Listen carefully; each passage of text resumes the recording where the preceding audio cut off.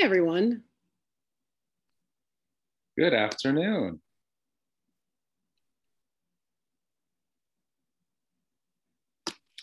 So welcome to today's uh, COABE webinar, uh, ESOL transitions to uh, college and certifications, you know, supporting the college and career readiness for English language learners.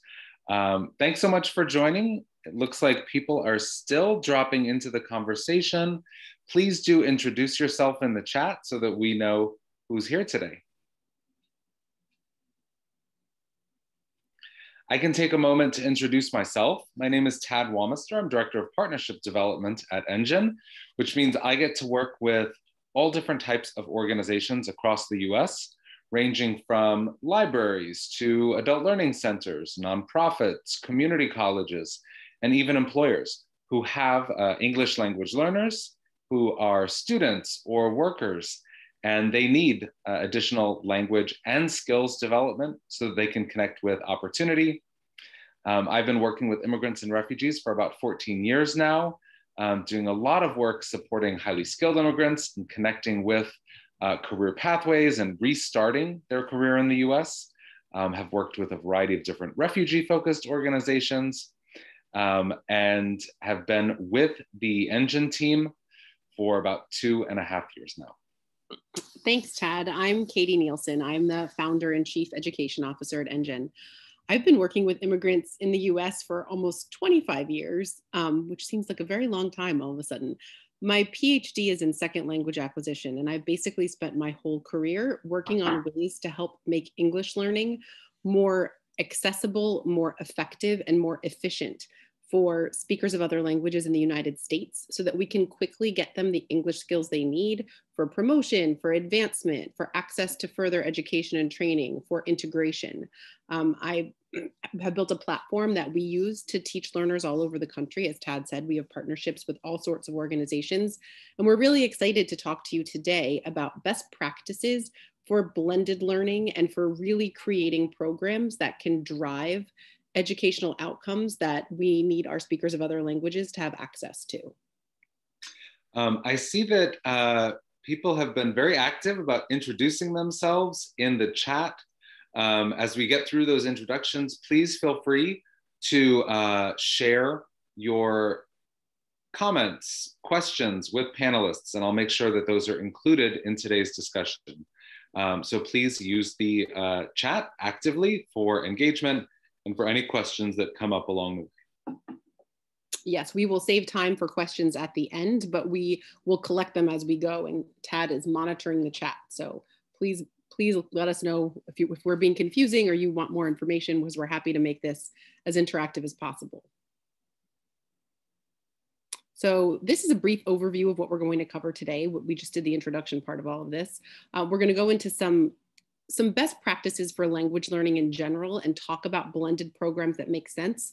I think it's nice to start that way so we all have a common language and a common foundation into how to build effective programs. We're going to touch on digital literacy. This comes up all the time when we talk about working with learners who are speakers of other languages and may have varying levels of formal education, uh, varying levels of familiarity with digital tools. And then what we're really excited to share with you are some effective models. So we're not just talking about theory, we want to explain to you different programs across the country that have created blended models and that have worked. Um, and we'll end with a discussion of measuring outcomes, how to do it, what we should be looking for, and best practices for making sure that our programs are effective. There is a readiness gap between language learning programs and college and career readiness programs. Um, I think everyone sees it. It's why why we struggle to support English language learners as they're entering career training and higher education. And what we have built is a platform that really helps us bridge this readiness gap. So, what we are doing is we're taking real world task based information and giving it to language learners so that they can get into career training or higher education and also get the support they need while they're in those programs. And it all comes down to building a needs based language program, which is what we're going to get into today. To start off with, I, I want to, to level set by saying that English training is acquiring a skill.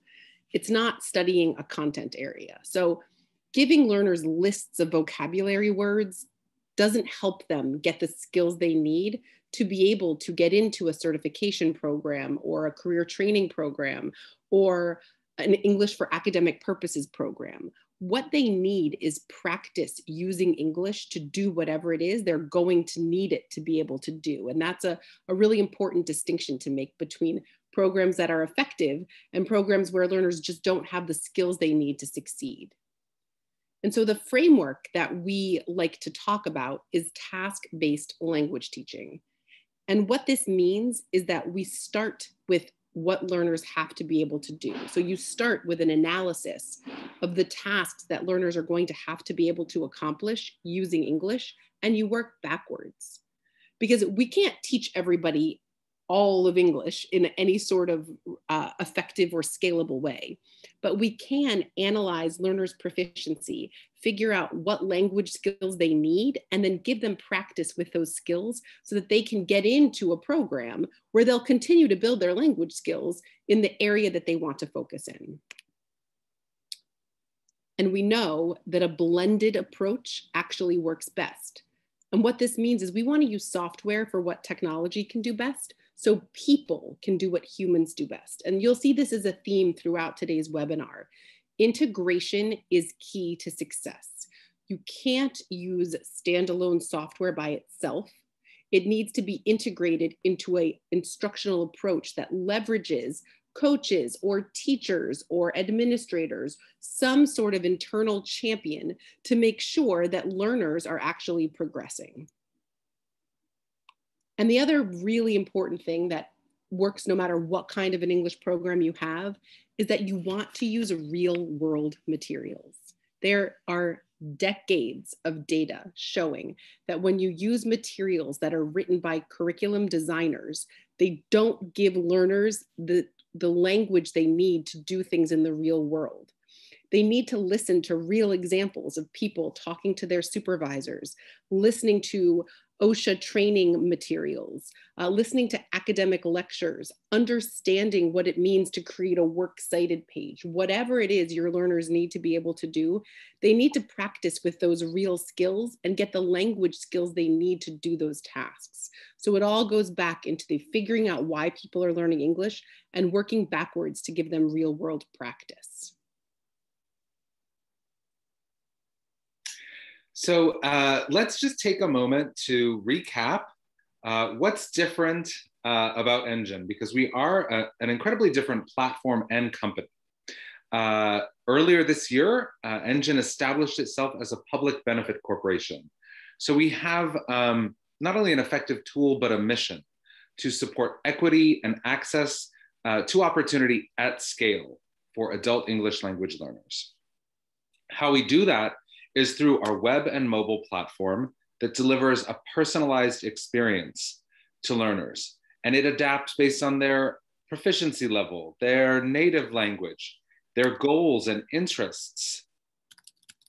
Um, and, you know, as Katie shared, uh, the more that uh, adults are, are interested in the topic at hand, the more engaged they will be.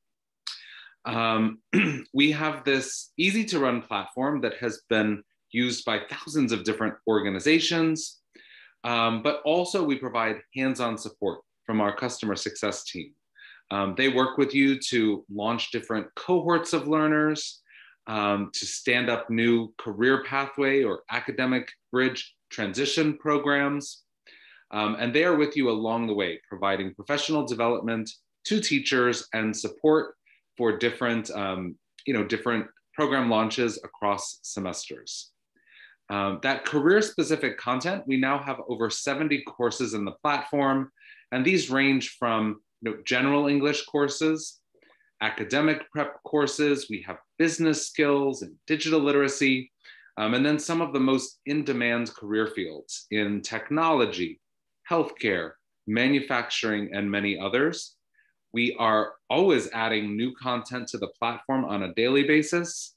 Um, and we're adding new courses, typically on a monthly basis. So um, at the end of June, we added English for Entrepreneurship, uh, which is a really exciting new course that can support um, immigrant entrepreneurs who are looking to launch a business. And it also can support um, immigrant small business owners who don't have the time um, because they're working all the time, uh, but they, they need and want to learn English and it can help them to grow their business. Um, as Katie mentioned, all of these courses, all of these lessons, they come from real world materials. That might be a news article, an audio or video clip, technical training materials. And then for you as an organization, you can see exactly what your learners are doing. Their time on task, the lessons they're completing, the units and courses they're completing, as well as their end of unit assessment score. Um, and then the uh, proficiency assessment is typically delivered every 90 days to measure those um, skill gains over time. Um, the more that this coursework, the more that a platform is tailored to the real world needs, you know, helping them to achieve their goals. Um, and in this case, we're talking about career pathways, college readiness, um, and each learner is preparing, you know, for certificates, degrees, credentials that will improve their um, inclusion and their economic mobility. So I want to talk a little bit about the different types of programs um, that we partner with, um, whether that be a specific on ramp or transition into a career pathway. Um, it's incredibly important to make sure that, you know, if you have an English learner, are they ready for how difficult and the, you know, do they understand the vocational English they'll need to succeed in a, you know, career pathway training program? bridge programs, whether that be helping students to um, prepare, you know, for further academic study, you know, for their GED. We have um, courses and content that directly relates to those uh, college transitions. I think something that's really exciting right now is that there is a renewed um, commitment to apprenticeship programs, those earn and learn opportunities that are, you know, can include you know, incumbent workers. They can include professionals who need to work because not everyone can take, you know, months or years off to earn a certificate or a degree. Um, there's a lot of potential within apprenticeship programs, um, connecting with, you know, good paying jobs. Um, but you know, language learning, gathering, gaining those English skills that will allow someone to succeed in that apprenticeship you know that's where there's an opportunity in pre-apprenticeship and giving them that vocational english they need um, and i think most people on the call today are probably familiar with iet those career specific uh, training programs we have courses in you know healthcare manufacturing industry safety technology um, that can be used and immediately plug into uh, an iet program So now we're going to talk a little bit about distance learning. So the, the, truth is that research on distance and blended learning has been going on for decades. Um, but COVID-19 left many practitioners unprepared and scrambling and using Zoom to replace face-to-face instruction and not really thinking about how to structure distance learning. And so right now, we have a real opportunity to improve access and equity inclusion via distance learning and to think about the future. We've shown over the last, I don't know how long it's been, 18 months longer, that everyone has been doing things partially remote, uh, that we can really reach learners wherever they are and offer a future that's more flexible, which is going to let us offer education to more adult learners who were precluded from participating because of job responsibilities, because of family responsibilities, because of transportation issues. But when we think about how to build a program like that, we should really try to take advantage of the benefits that technology offers. So I pulled together a bunch of best practices for setting up and executing online environments that come from the last 30 years of research on distance learning, hybrid learning, blended learning. The first is that your online environment needs to be structured to foster language learning if we're talking about reaching uh, English as a second language learners. And what that means is they need to have the ability to practice listening to authentic English, get feedback on error as they're interacting with real world materials, and get many, many examples of people using English to do real things. And in this way, the role of technology can actually enhance the language learning process. In a face-to-face classroom, if you have eight learners, 10 learners, 30 learners all sitting in a room with you, and you're trying to give them practice with English, you can't give each learner the thing that's exactly right for their interests and needs and proficiency level. But we can do that with technology. We can adapt and personalize the learning experience, which helps us solve a problem that's inherent in face-to-face classes. And the other thing we can do is monitor learner activity. This is super important. You want to be able to measure how much time your learners spend in a learning platform and what they're doing and how they're performing, not just to check a box uh, and show that you've met the requirements for funding or that learners have completed the requirements for credit, but so that you can take the information that you're getting and use it to make your instruction better look at how much time learners are spending, where they're struggling, if they need help with more help with listening or reading, and then adjust your in-person experiences to take advantage of those insights. That's really where the, we get a powerful benefit from distance learning. We can push learners to engage in virtual experiences in online classes. We can have them practice doing things online that are often so difficult for our second language learners opening up bank accounts, talking to customer service, um, getting help writing emails to get help with accounts, enrolling children in schools, making appointments for online medical care. These are all things we all use the internet to do all day, every day. And you can help your language learners do those things in a supported way using distance learning. They can record themselves doing things like that and bring them back to class to you for, for help. You can, they can share their computer screen while they're doing a text chat and you can see what's happening and talk to them about what's going on. There are all sorts of ways to use distance learning and online training to bring the real world into your classrooms. Uh, the, the measuring outcomes and overall success is important to any program. But one of the benefits of an online program is that it's easy to measure outcomes and success as long as you make sure you're tracking things up front. Things that are much more difficult to capture face to face, you can do online because learners are interacting with technology and you can measure what happens. I told you one of the things we were going to talk about over and over was integration. And I touched on this in the last slide, but I wanted to go into it in a little more detail. Integrated online instruction is the key to success. That means you want to use personalized adaptive technology. If you are using technology for instruction right now, there is no reason why it should not adapt to learners' needs. That's one of the benefits that technology can bring to the learning process. One size does not fit all, and you don't need to teach all of your English as a second language students the words for what to say at the zoo. You can teach them the language they need to read medicine bottles, apply for graduate school, uh, apply for a Google IT credential, fill out the intake paperwork um, at their local preschool for their children, whatever it is, learners can practice doing real things with personalized learning. And you should be able to measure their engagement.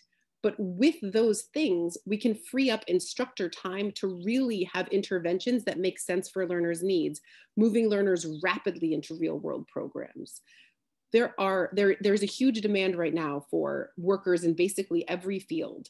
And second language learners are often left out of certification programs and training programs just because they don't have the english skills they need. With a, an approach that is personalized and adapted to learners real world needs you can help your esol students quickly get access to those training programs. Learning is moved online and it was happening anyway. COVID sped it up. We can now think about new instructional models and flexibility and access. But the question that comes up whenever I talk about this is, but, but what about my English as a second language learners? They often have very low levels of digital literacy. And uh, you know, this is uh, this is a stat coming from the National Skills Coalition. Uh, they were surveying and looking at uh, the percentage of English language learners who had digital skills. Um, the majority, so 67% of those learners, um, did not, in fact, have digital literacy skills, they had no digital literacy skills, or limited digital literacy skills. And that really limits their potential to connect with training. You know, the topic of today's presentation, connecting uh, for college and career readiness. Um, so this is a, you know, this is an important consideration.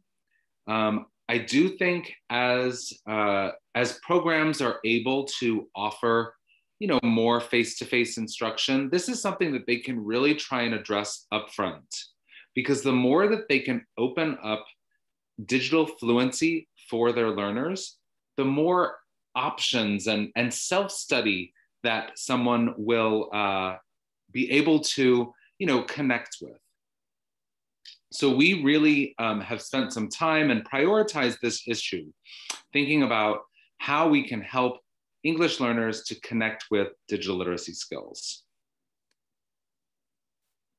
And this is not just a prerequisite for connecting with learning and being able to, uh, you know, use learning management systems, but more and more jobs, whether it's a facilities worker, um, a housekeeper, working in a warehouse, they require interaction with technology um, and connecting with career pathways and advancement opportunities uh, it's critical to have both language skills and digital fluency in place to be able to succeed.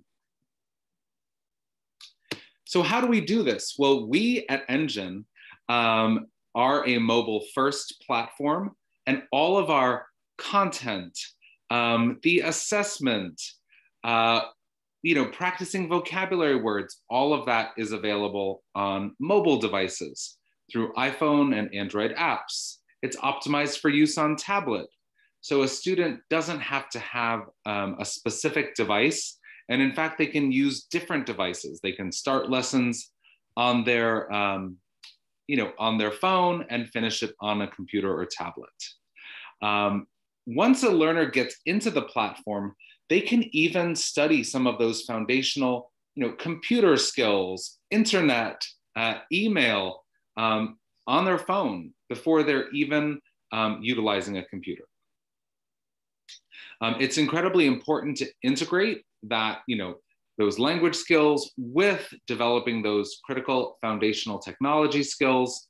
And this can allow learners to then connect with more, uh, you know, career focused and career pathway trainings um, that are relevant to the jobs of the future. So this is just one, uh, it's almost like a map, a roadmap um, for building that foundation um, and how to connect with career pathway training? Well, learners have to build um, their general English skills. They need to um, understand digital literacy skills. Um, it also can be very useful for them to connect with those business skills and workplace readiness around uh, you know, email, phone calls, meetings, and even remote work. Um, so we spent a lot of time early on in the pandemic uh, developing those academic readiness as well as beginner and intermediate business skills courses. Um, and once a learner is able to connect with and build that foundation, they can expand into some of the more advanced trainings around you know, technology skills, customer service, healthcare, um, and entrepreneurship. So we're talking a lot about super specific English courses, which is what we know based on decades of research make the most sense for language learners. I wanted to go through a quick checklist for how you could get a needs-based English program started. The first thing to do is to answer some questions like who is learning English? What's their goal? And what's their language level? Because this will help you figure out where to start. And then why do you want them to learn English? Because the approach you take is going to be very different if you have people who are transitioning to academic ESL or transitioning to job training, people who just want to become eligible for workplace training or something else. But figuring out what this is goes a long way towards being able to measure outcomes at the end. Then what do they need to learn? Is it reading and writing skills? Is it speaking and listening? Is it a combination? Is there one more than the other? It's a super important question because you want to focus the time on your instruction into the areas where learners need the most help. Uh, and then what resources are available for English learning? and then what model will, will work best. And Tad and I are going to go through a number of different models that we've seen be really successful with adult learners. Um, so a model where there's a partnership with an adult education program and an employer or transition program, um, something that's based in the workplace and a pre-apprenticeship model. These are all options for adult um, education providers. You have a lot of flexibility in how you offer your English language training especially when you're thinking about something that is a blended model or a, a, hybrid approach. A partnership with an employer would give you a whole population of learners with a common goal. So thinking about how to structure the program is really important upfront. Here are some example pathways, healthcare career pathways, where you can start with digital literacy, move into a certified nursing assistant on-ramp course, giving learners the language they need to become certified nursing assistants. I read something in the chat about vocabulary words being important, and, and that's really the, the key to the success of our program, is that we don't just think of lists of vocabulary words that seem to be topically relevant we start with real examples of people doing their jobs as certified nursing assistants, the language that you need to get certified in a training program, the lectures that you hear from teacher trainers, and we take that real language content and turn it into adaptive lessons. So learners get the right content at the right time at the right proficiency level. In addition to the beginner level certified nursing assistant course, there is a more advanced patient care and support, a healthcare professionals course, and specialized content on things like basic life support and CPR. Learners can get access to the English they need for these training programs while they're in them, giving them really critical language support while they're transitioning to be in a healthcare career program. And we'll go into an example of this uh, when we get to the models that work we, we walked through digital literacy a bit, but we just to give you some more information, learners get basic computer skills, basic internet skills, internet safety, and get the foundations that they need to move into more technical careers. There's lots and lots of talk right now about IT boot camps and uh, cybersecurity apprenticeships, um, IT help desk support, uh, digital, um, digital marketing programs but those programs rarely include on-ramps for speakers of other languages. This pathway can be the beginning of that. And it works for learners who have zero digital literacy.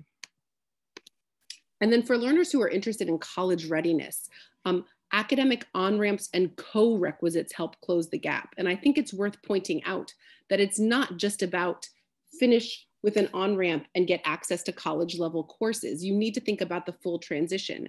And a platform like ours can help learners not only get the academic readiness skills they need for college level work, it can support them while they're in college level classes so that they can get the language support they need for the coursework they're working on.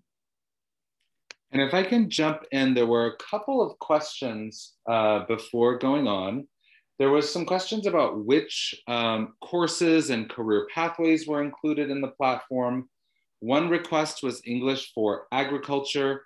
Um, we've heard that before, and it is uh, it's on the list. We always um, try to prioritize the lists based on industry demand, um, as well as requests from prospects and customers. Um, one uh, one area that was asked about was early childhood education.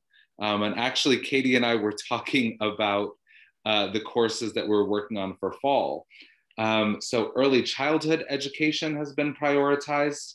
Um, we also have additional um, coursework English for electricians um, and electrical technicians, um, as well as pharmacy tech. So, we're always adding new career pathways based on requests from uh, customers and, and prospects. Um, the other question that I thought, you know, whether you want to answer that now, um, Katie, or just go um, go into it uh, within the uh, assessment portion was uh, there was a question about understanding more for you know skills mastery, and I wanted you to talk about the end of unit assessments. Sure. So and I will speak about assessments in more detail at the end, but because all of our content comes from real examples, like real training materials, uh, learners are take an achievement test at the end of every unit where we master how well they understand the content area. So it's integrated content with language. And there's an achievement test that they take every 20 lessons or so, where we get an ongoing picture of, of their overall mastery of what they're learning. At the same time, we have ongoing proficiency assessment so that we can measure what learners' level of English is so that we can adapt the platform as their level improves. It's all competency based and it's designed to help learners move as quickly as possible through the content so that if their proficiency is improving, we can start giving them uh, language that's at a more difficult level of English so that they can get the practice they need to move into the career and college readiness that they are aiming for. And for anyone who is curious, um, I did put our current course catalog list in the chat so that you can download that as a PDF. Um, but again, this list is always growing. Uh, we're working on more content for healthcare, manufacturing, early childhood, and more. So stay tuned for those new, new courses that are coming out this fall yes, we um we add new content at a really rapid pace um, because of the technology that we've built that helps us do it really efficiently. So that that's the way we can offer the right thing to the right learner at the right time. So having looked at hundreds, if not thousands of successful implementations over the last 10 years, there are seven requirements for a successful program. We need an internal champion you can't take adult learners and just give them access to technology and say, go ahead and use this and um, learn. I mean, the, the evidence that that doesn't work is available in the completion rates for MOOCs. People need support, and especially historically underserved populations need support and resources up front to use distance learning. You can't just tell them to go do it themselves. We know that successful language programs begin with a needs analysis. One of the reasons for this is because it lets you figure out what you need so that you can measure whether or not you've done it. Uh, we obviously need learners and they need clear objectives there needs to be somebody offering the language course, funding for it, and the success metrics, because different courses will have different success metrics. Some of them will need learners to get to a certain proficiency level. Some of them will need learners to um, demonstrate a, a certain score on an entrance exam for further training. Some of them will need learners just to demonstrate that they've completed achievement tests at a certain proficient at a certain um, certain score, which is then used for admittance to another program. We have a, a program that does that in Colorado. So we, um, the way these seven things look can be very different across models, but every model needs to have these seven. Which is our segue to exploring and scaling effective models. And I think um, it is so important to have both of those things. Uh, and scaling is something that we really need to work on. You know, pre-pandemic, uh, the Migration Policy Institute estimated we were only reaching 3.4% of adult English language learners. Um, that number has probably dropped during the pandemic. Um, so as we are returning, uh, programs need to you know, think about the innovation that has allowed them to scale their program and again, connect, help their learners to connect with career pathways. So I wanna share an example about an adult education provider who did not have a lot of experience using technology pre-pandemic um, and really you know took advantage of this opportunity to try to enhance um, their virtual and self-study um, capabilities for their learners um, and also build new career-focused instruction. It's very important to set expectations up front about you know the engagement and expectations of learners. You know what does success look like for them? Um, to use and to incorporate um, you know career focused and real world materials include those and integrate them within the live virtual classes. Um, help them to understand how this is one stop um, and that they're intended goal is to transition into a career focused program. So, what are their long term goals? Whether it's a degree, you know, whether it is a career pathway um, program or certification, you know, measure those outcomes. Uh, it's incredibly important to pay attention to learners, um, and this can help to connect with um, and achieve the you know reporting requirements for you know state level you know education or workforce funding. So let's actually look at some examples. This is a program, the PREP program, which is in uh, Newport News, Virginia. Uh, they started using EnGen last fall, um, when, when they were trying to, um, you know, achieve career and workplace readiness for their English language learners. Um, they set very robust self-study goals for their students. Um, and you wouldn't believe the, you know, the, the success and how one instructor expanding to two were able to um, deliver multiple different sector specific career pathway programs. Um, they got their learners ready to transition into these boot camps, which started in the winter. And one had a tech focus, one had a you know manufacturing and logistics focus, and another one had an allied healthcare focus. So now the learners were continuing to you know use EnGen um, on their own, you know, add more self study, and it was very career specific. Uh, so their teacher didn't have to be a subject matter in tech and in healthcare. She was leveraging the content that was in the EnGen platform. And this, the intention of this program is to help those students to uh, transition uh, to the local community college where they can earn a certificate in one of those in-demand career fields. There are actually programs right now and funding sources that can, you know, sponsor and, and pay for the, the uh, you know, certification program but learners have to be ready. And so uh, by using this, this content and by integrating uh, technology into their, into their program, um, they were effectively able to uh, transition these students and prepare them to achieve their goals.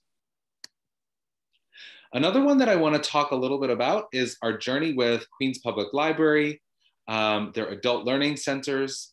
Uh, we've been working with them for several years now uh, within pilots that have expanded um, even before um, the pandemic, uh, but have continued to thrive and adapt um, as those learning centers, you know, were not able to utilize their classrooms and had to be fully remote programs. Um, I also want to recognize that uh, I know that uh, Sarah Sadiq, the blended learning coordinator for Queens Public Library is on this call. Um, so I wanted to share some lessons learned from the program. Um, the assistant director of uh, the Adult Learning Centers uh, delivered a uh, professional development session with us at the SUNY LIT, um, the Learning Innovation with Technology Conference. So it's important to um, help your teachers to be enthusiastic about using technology. That's incredibly important um, there was a lot of peer learning and training uh, that went into uh, getting those instructors ready to use this and other technologies. Um, you know, introduce this tool and these tools to students um, over time. You know, it's it's ideal when students do have access to a learning lab and you can float around and help them to, you know, take the assessment, download the app. Uh, but something, uh, something that was important and built into their model was having those check-ins with students. You know, they not only have a teacher, but a case manager. Um, and one thing that they were able to achieve was integrating the app into class. So making it a core component of the program. Um, they also drove engagement with competitions. Um, and because they had full visibility in the command center, they could see who was, uh, you know, achieving those goals. You know, whether it was taking a live instruction class um, or simply completing a certain number of lessons and units. Some of the challenges, well, um, digital literacy skills are, while the need is universal, um, you know, that having uh, digital fluency is not necessarily universal. Um, so one of their goals and something that they realized was that part of their job is helping their students um, to break through that digital divide. You know, there is a, um, a component that's just related to having access to um, devices. You know, they've experimented with learner de- with loaner devices. Um, also, uh, just the fact that the platform is accessible on smartphones. That's something that virtually every student has access to. Um, Wi-Fi connectivity can make a difference. Not every student has an email address, um, and the EnGen platform does support uh, mobile and text activation. Um, the digital literacy course, this was something that uh, informed our you know, content development plan. Um, and then just understanding that each student and each teacher has you know, different motivation and comfort level with technology. Um, so again, you know, keep track of your students, see who's, you know, successfully up and running and provide support to those students who need a little bit uh, of extra help. Uh, there were a lot of teachable moments and um, a lot of peer learning. You know, some of these uh, instructors were able to, you know, effectively use the EnGen platform for homework and in, you know, as a substitute for, you know, textbook study. Um, so the more that you can help those early adopters and those, um, you know, those expert teachers, help them to, you know, share that information with other, you know, peers and other instructors, uh, connect those lessons to everyday life, um, both during the uh, during their vacation, um, times off from study. Many of these students were continuing, you know, across semesters. Um, so having access to a digital platform allowed them for to continue their self-study over van- vacation. Um, as we mentioned, you know, digital resources, um, including the app, became incredibly important during the pandemic. Um, and they have, you know, formally included the building of digital literacy skills as a core component with their program. And I think every every you know ABE and ESOL program needs to um, include that digital literacy um, foundation upfront. One of the interesting things, you know, EnGen has a, a study that was done by the American Institutes for Research um, that was, you know, a, a third party evaluation trying to test out if access to Voxy EnGen accelerated learning um, within, you know, a blended learning program um, AIR did find that. And also at Queens Public Library, they had a control group. Um, they were testing out, you know, which students, uh, which classes had access to EnGen and others that didn't, even though they were at the same level in their WIOA funded ESOL programs. Um, they saw accelerated learning and accelerated NRS gains for the uh, Voxy EnGen group. So those are two great examples of adult pro adult education programs that have int integrated the platform and driven more efficiency with learning, expanded their reach to learners, helped learners make transitions to career training. One thing we wanted to talk about a little bit today is how the workplace itself is actually an ideal environment for English upskilling. Conversations that I'm having and hearing on a national level over the last three or four months keep pointing to the need for adult education programs to be more integrated into employer focused workforce training. And so I wanted to talk a little bit about why English makes sense as a workplace training program and how adult education providers can get involved. The first is that training is tied to real workplace needs. When you're working with a population that is all the same employer, they have common goals and they're in an English rich environment where they can practice using English when they're not in class which means that the lessons that you build for them are really relevant to their needs, which goes a long way towards getting adult learners to pay attention.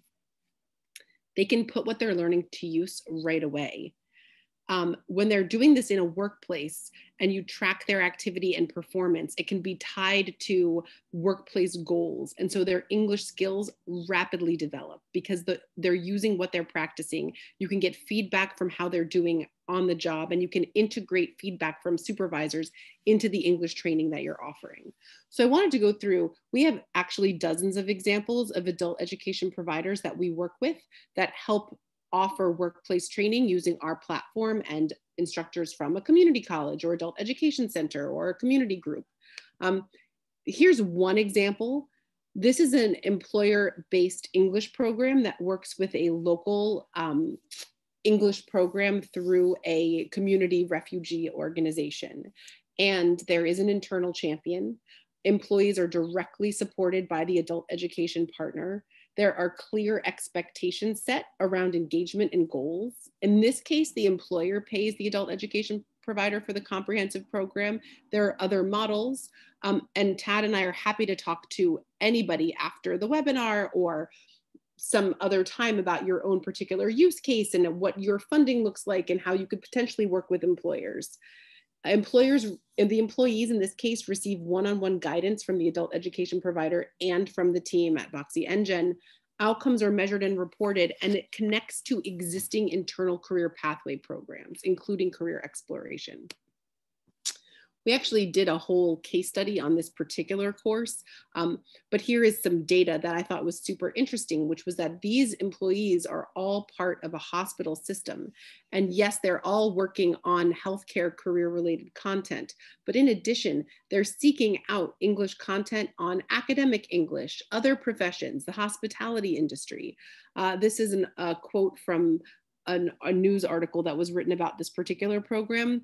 But the point here is that these learners, even though they're in a workplace-based program, have interests and goals that are independent of that workplace English program. And by leveraging a platform like ours that can really deliver personalized English instruction, an adult education provider can work with an employer to drive outcomes in an effective way using distance learning.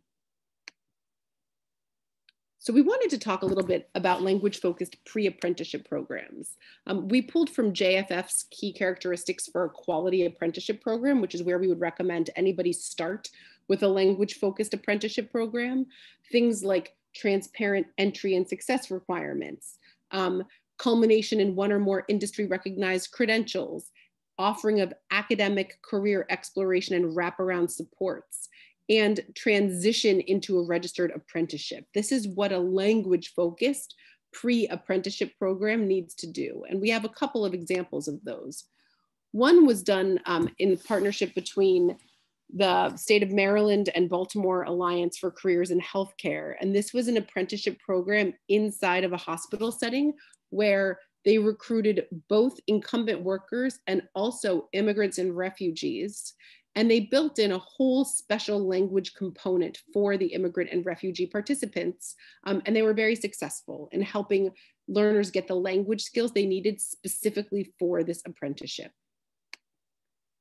Another example is one um, that we can, we, it's one of my favorites actually because it's so specific and it's a language focused pre-apprenticeship for people who want to get credentialed as ski lift maintenance technicians.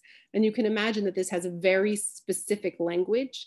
And we've taken that specific language and created a module of English language materials with an achievement test so that learners can get the language skills they need to then participate in that particular uh, apprenticeship program. And we can do something like that for any career that you can think of. So Tad was was talking about what's in our current catalog and what's coming, but we also work on specific content for specific employers and specific jobs with partners all the time.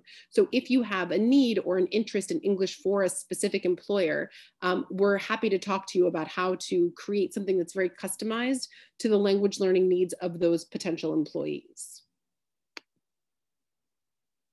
We've said it over and over and over again, and I thought it would be nice to end with outcomes. Measuring performance is critical for funding. Um, and we, in our platform, have a research backed assessment um, program that we've developed over a decade. And what we measure are time on task, which is the single biggest predictor of success, mastery of language and content. So I mentioned this earlier, but we look at achievement on every single module of instruction that learners complete. So we understand if they, if they understand the language and the structure and the concepts in the content that they're working through. We also look at um, proficiency improvement over time, stakeholder satisfaction, and my favorite metric for success is honestly real world success. people are learning English because they want to do something else. So we want to measure whether or not they can. And we have a 2021 Q1 impact report that looks at learners reporting of their ability to accomplish their real world goals, whether they are career goals, academic goals, personal goals. And we're happy to share that with anyone who's interested as well, because you can really see uh, the tie in between improving English skills and success in accomplishing something real. And that fits with our theme of helping learners with the transition to college and career readiness. So to summarize, before we get to questions, because I'd like to save a few minutes for those, there's a massive disconnect between ESL programs, traditional ESL programs, and college and career readiness. Learning is completely moved online, and blended programs can increase equity and access at scale. Like thinking about the future, we should take the online learning that we've been doing and think about how to reach more people and reach them more effectively and efficiently. At the same time, right now, employers are all facing a so-called talent crisis where they are unable to find workers. But speakers of other languages are often an overlooked worker population. They're overlooked because they don't have the English skills that people need for some of the jobs that are suffering from the so-called worker shortage, or because they don't have the language skills for training programs. So if we can tailor career training programs to English learners' needs and goals, we can increase the number of workers that we have ready to take these jobs. And this is a really clear place where adult education providers can work with employers to build these career-focused ESL programs. Workplace language programs link learning to real-world practice in a way that's almost impossible in a classroom. And technology can help you offer flexibility, um, efficacy, and outcomes. So Tad and I wanted to take a few minutes to answer questions if there are any. And I think he's been monitoring the chat, so maybe he can tell me if we have any in there. I have been uh, checking the chat. There was some questions about pricing. I did put our um, nonprofit and educational back to school uh, special flyer in the chat. Um, our Typical pricing for nonprofit and education programs is $125 per annual seat. Those are transferable seats, so they can be used with different students across semesters. Um, or if someone drops out, someone else can be put in. But it is, uh, you know, that seat is tied to uh, one student at a time. Um, and the back to school promotion is at the 50 seat level. We do always have volume discounts. Um, if you want to learn more um, or see a demo of the platform, I put in a link in the chat that, um, oh, I didn't mean to, I didn't launch that poll, uh, that did, um, you know, if you want to sign up for a demo on Wednesdays, please click on the link in the chat. Now, some of the questions were around different content areas advanced manufacturing. Yes, we do have some new content in that area. Early childhood um, education, mm, that is on the horizon. Um, it's definitely a prioritized area for us. Um, let's see if there were other questions. Or if anyone has any questions now, feel free to chat them in. This is so, Katie, how do you manage your classroom when students are interested in different workforce pathways but are in the same class? An excellent question. So learners should work on content relevant to their different workforce pathways and career exploration on their own. This is the perfect example of when you want to have a flipped classroom. Learners can then be in class together and work on common tasks whether they are talking about different career exploration areas with their peers, giving presentations um, that are relevant to their own career pathways and goals, uh, we have a whole teacher playbook as well as personalized teacher professional development that we can offer to organizations to help you with this question because it's one we get all the time and it's one where using technology for personalized instruction can really help solve your problems. So some of the other questions that were um, answered, uh, that were asked beforehand is uh, cost tracking and support Uh, someone said they're very interested in participating, but they don't know if their school.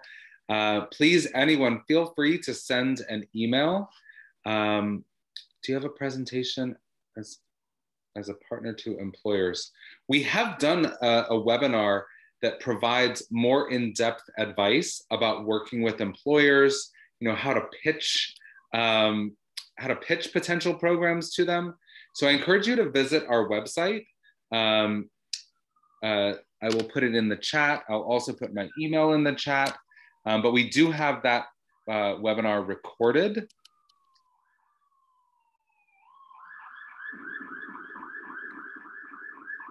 Sorry about the siren.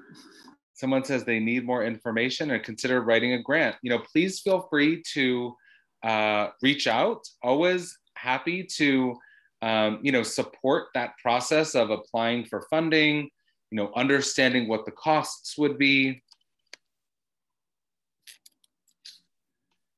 Uh, there is one question, how do you tailor students' levels in the classroom to meet overall student needs? What was the first part before overall student needs?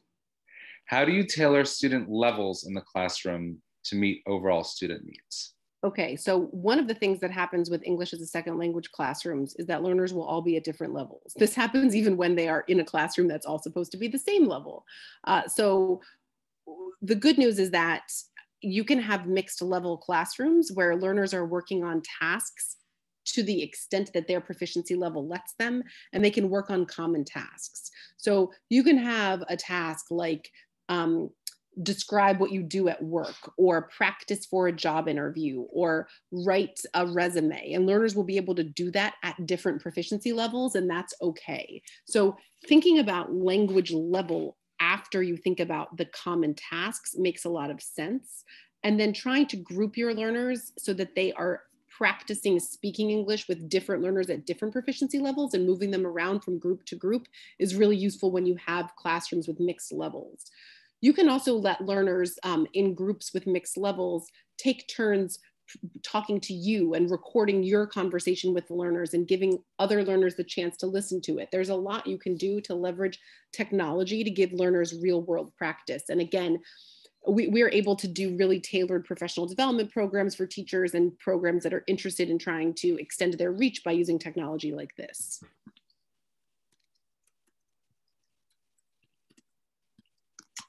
So I did put um, a link in the chat to our previous webinars and there are recordings and slides available. Um, I do understand that when you click on that, it, it gives you a warning, but I promise you that this that the website is safe. That's just a standard Zoom functionality. Uh, one question was, are the seats transferable? Yes. So if a student drops out, you can put someone else in the seat. Also, many of our partners will run different cohorts across semesters. Um, so those are the same seats and they can be used with different groups of students across semesters. And I mean, I think we, we've both said this and we'll say it again. We work very closely with our partners, whether they are academic partners, employer partners, public library partners, to make sure that the platform is configured to your needs, that it meets your students' needs, as I said, I've spent 25 years working with adult English learners, both inside and outside the United States. Um, but I started my career as an ESL teacher here, and I built this platform to meet the needs of ESL teachers. It's designed to help you help your students get English more efficiently and more effectively. And so we are continuously working on the platform to make it more tailored to learners' needs and more tailored to the needs of institutions.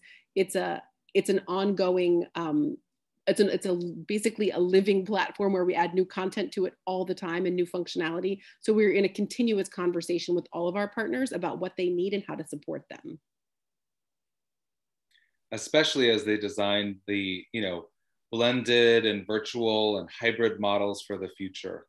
Um, because there are you know there have been uh, you know significant amounts of positive feedback about bringing more instruction online. It works for some students, um, and those who don't have the digital literacy skills really need to build that foundation as quickly as possible so they're not left out of learning opportunities, financial services, benefits, you know, and more and more of that is, um, you know, being required to, you know, interact with, you know, online resources. I think we're at time and we're probably going to get kicked out. So thank you everyone very much for your active participation and please reach out to me or to Tad if you have questions. Absolutely. Thanks so much. We really look forward to continuing this conversation. Um, head over to the Voxy EnGen website. Um, you can register for a Wednesday demo. You can request a one-on-one demo. Um, and we would love to uh, talk about your needs and your learners' needs. Have a wonderful afternoon.